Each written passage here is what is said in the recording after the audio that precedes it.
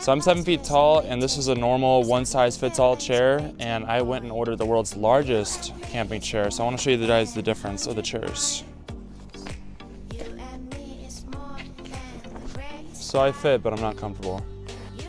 So just for a height comparison, already it's about six feet tall.